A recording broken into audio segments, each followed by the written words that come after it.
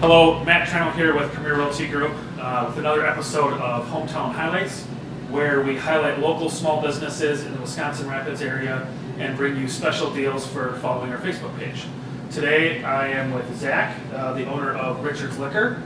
Uh, how's it going, Zach? Great. Thanks for having thanks for having me on your fancy show here. Yeah, for sure. Hey, Zach, tell us a little bit about Richard's Liquor and what you guys uh, offer here. Well, here at Richards, we pride ourselves on having the best selection and service in the area. Uh, we help you not only plan your party, your special night out, uh, but we also like to have a pretty good time doing it. Nice, nice. And I must say, watching your videos on Facebook is uh, entertaining uh, a lot. You know, just so you know. you know. Yeah, well, we have a great time with it, but we definitely do not use the same production value. So, to our followers, please do not expect this in the future. um, Zach, how did you get started? Uh, tell me the story of Richard Liquor.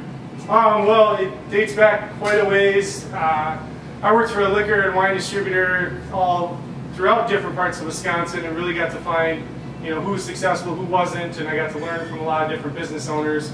And I always kind of wanted to do it for myself after watching my dad uh, be in business for himself for over 30 years. So I thought it'd be really fun to work way too many hours and eventually, you know, hopefully get paid. right. Uh, but, you know, really it's more of a passion for the industry, the products, and, you know, it's uh, pretty fun to be able to show up in a pair of jeans and a sweatshirt and go to work every day. Yeah, yeah, yeah. Cool, cool. All right. Um, so for the people who are watching this video on Facebook uh, that want to come in uh, to your store, special deal, anything you want to Yeah, so mention this video during the week that's posted and get an incredibly classy can koozie. Sweet. Because who doesn't need that? Yes, very well. All right. Thanks, Zach. Appreciate it.